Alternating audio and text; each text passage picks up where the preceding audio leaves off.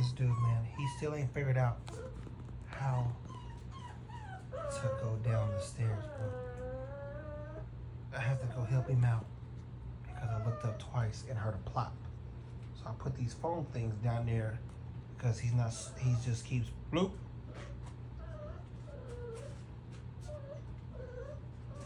I don't know who told you to go up them stairs, dude.